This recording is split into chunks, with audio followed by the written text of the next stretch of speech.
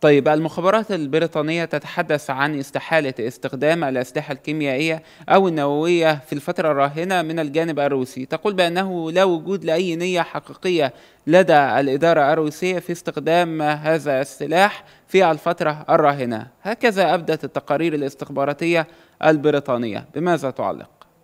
هذا رأيي.